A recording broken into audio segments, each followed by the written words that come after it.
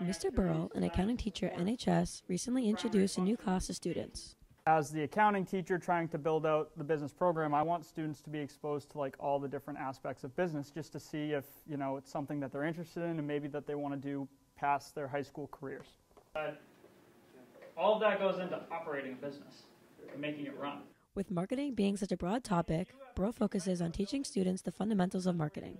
And so in marketing, we take a particular look at like 21st century consumerism, so how you and I as consumers interact with different brands, how we br- buy items, what drives us to buy items, um, and associate with different brands. To simulate real business world experience, Burrell takes a different approach in the classroom.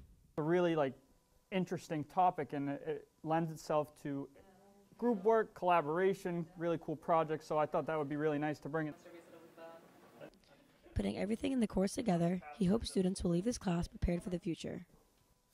Um, so I think just having like the understanding of, you know, the business world and how it operates. So I think, you know, especially looking at today's world and, and with COVID and everything that's happened, employers and businesses are really looking for students that um, are adaptable and flexible. So, you know, I try to model those things in, in marketing because, um, you know, past your high school career, when you're starting to network and, and interview with these businesses, um, they want to see those types of skills. All the ongoing activities designed to This class is a minor, so take some of Mr. Burrell's advice. if you think that you might be interested in business past high school, like I really encourage you just to try it. It might not be for you, but maybe it is.